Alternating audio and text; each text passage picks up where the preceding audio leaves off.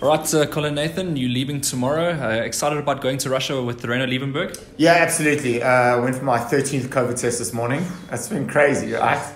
Um, very excited about going, starting to pack tonight, and then au revoir tomorrow. I think I've actually been there for like half of those COVID tests, so they, they, Yeah. they it's it's too much, eh? Dude, we did like five tests in two weeks. It was ridiculous. Yeah. And then we got nailed at the airport. Yeah. Because we weren't allowed to go into Germany. Remember, it was like 48 hours, not 72, Yes. and we missed the deadline by a few hours. And then, yeah, it's just, it's just crazy. Crazy times, man. Yeah, fun times, fun times indeed. to Have all those COVID tests and all the stress and uh, Hey, sorry, hold on. Firstly, Viva. Viva. Yeah, yeah, we didn't do that. I thought I was. Gonna, I, thought, I thought I might sneak it in and not get you to not do it, but yeah, we got there. We got there. We got there. So Russia, right? Uh, Russia. Have you have you taken a fighter to Russia before? Never. Um, but looking forward to going. It's my first time to Russia, so yeah, just another country on, on the bucket list that I've always wanted to box in, you know. So looking forward to that. I think it's a fun fight. You know, I think it's a really fun fight. Both guys are vulnerable defensively.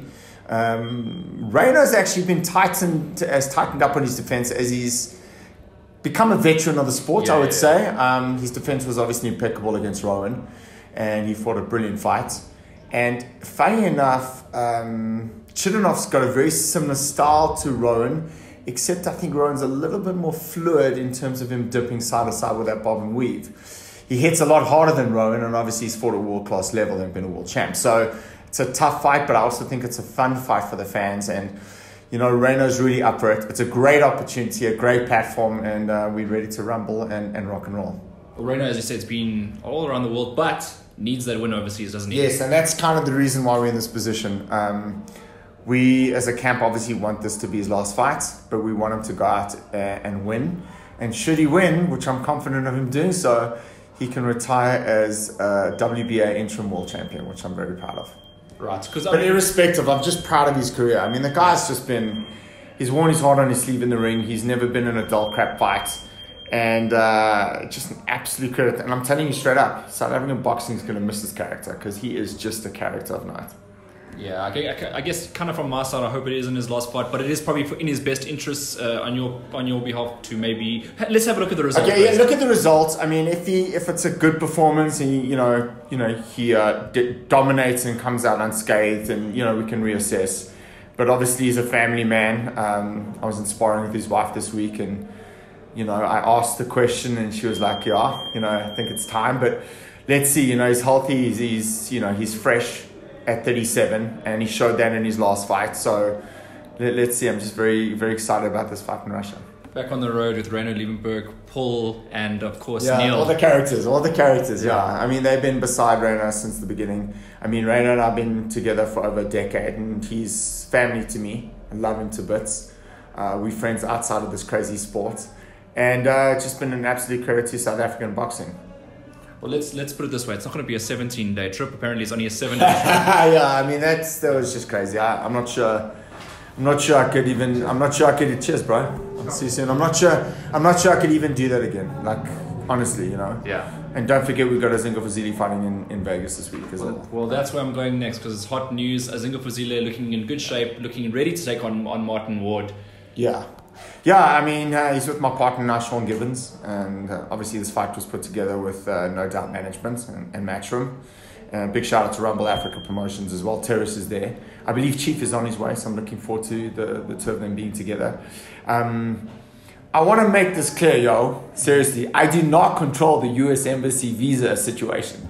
I mean, I was reading a lot of the stuff in the MDA that it was me, and I mean, did you, you obviously read all that stuff. You're obviously right? the president of the country as well.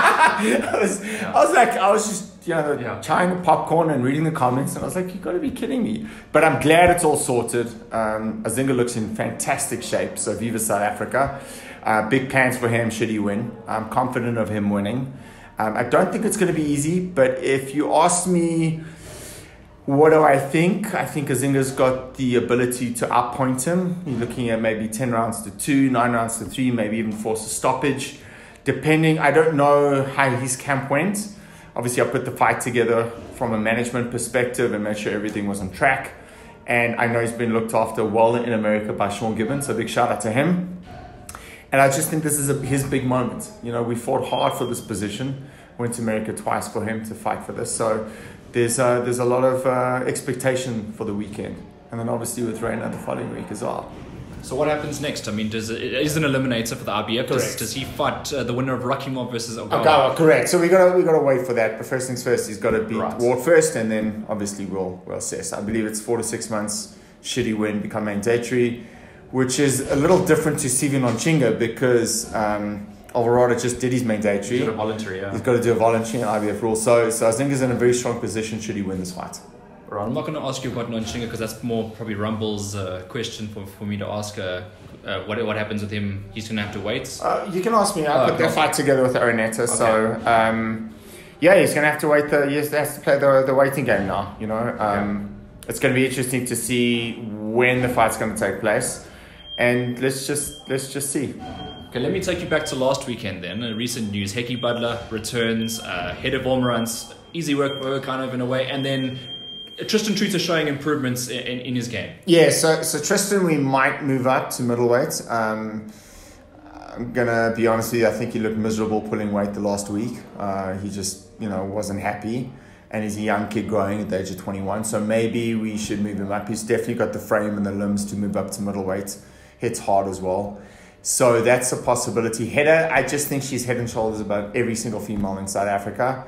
Uh, she's six and zero now for a reason, and and it's going to be hard to get her any local opponents. We've spoken to a few girls, no names mentioned, and they've always turned us down. I understand why. She's a she's an absolute beast, and for South African boxing, I don't think that anyone can match her right now. So the plan is to either take her abroad or to import uh, an international fighter for her. But you know, I, I still think the world of her ability, and I think this fight obviously was to get her back in the ring to get some sort of momentum, and I think she achieved that. And she just she's just so strong, and, she was really good on the timing and the counter punches. Yeah, and then Hekkie last week, you know. Yeah, Hekkie. So yeah, I mean that's that's my signature fight, isn't it? So I was really impressed. The first four rounds, you could see his timing was a little bit off. Um, but particularly the championship rounds, the last four rounds, he showed tremendous legs, tremendous legs. Um, ultimate, Al- Almasayan came to really, really bring it. Um, it was the kind of fight, like I said to you in the post-fight interview, that we really needed. Um, the situation now is is we've been offered a fight which makes no sense. So now it would be a situation of maybe having a fight now and then obviously fighting Shiro. I like the look of Elwin Soto. I saw him against uh, Takayama. I think he's very beatable. Strong kid, very game. But a guy like Hekkie who gives him angles, he's going to struggle with that kind of style. So let's, yeah, I think I think we've got some really good some options now. Hekkie's number two in the BC, which is really really good for him. Uh, he was number three. He, you know, now the fact that he's had this fight behind him and he's, we've got this momentum going, I think I think the future's great for him. And I still think he's got a legitimate title run in him, and I still think that he can win a legitimate championship. So let's let's see in the next couple of months what the situation is. I'm going to ask this question because it's going to be pushed on social media. Uh, Simpiwe obviously didn't fight. Yeah. Um, is there plans for him? Yes, we're looking at please God pressing him back in for September.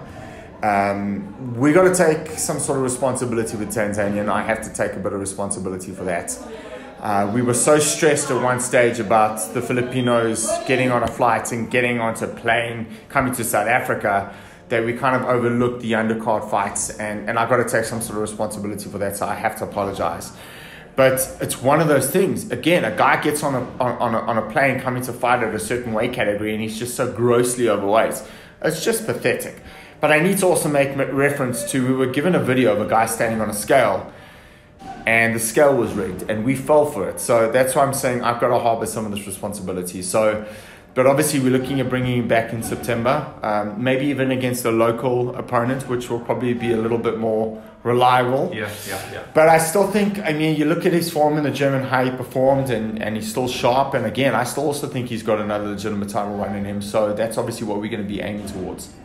All right, and outside of the, the guys that we mentioned, is there any other fight news coming through? Um, he, Tariq Alali comes from Morocco mid June. Um, Ishmael and Abdullah come on the 9th of June. Um, looking forward to them coming. And then obviously now start focusing on the four rounders, like I said to you in the previous interview we, we did. You know, I've got to get Cayden Truter moving. I've got to get Kaklecho moving. Those are kids who've shown a lot of form in the gym and they've been coming consistently. Yeah. And they are the next gen of South African and African boxing. So we've got to start getting them moving. And then um, there's obviously some other business projects that I'm busy working on, uh, which I told you before. I'm now getting closer to what I need to do. Had some very high level meetings uh, with some very influential people and, and some networks. So it's going well, it's going smoothly, and I'm looking forward to uh, the future. I'm very amped about the future. Thank God. I mean, last year we were like twiddling our thumbs doing these like shows, um, Yeah. the lockdown and stuff, and now we're busy. So I'm doing a lot of work behind my laptop, uh, also on the floor, and with the fighters. So I'm very, very um, amped about the future, and I'm very, very excited about Azinga and very excited about Ryno Liebenberg. All right, thanks for keeping us posted until next time, I guess. Yeah, absolutely. You're a good, uh, great seeing you, and you're always welcome in the gym. You know that. Shate, thank you very much.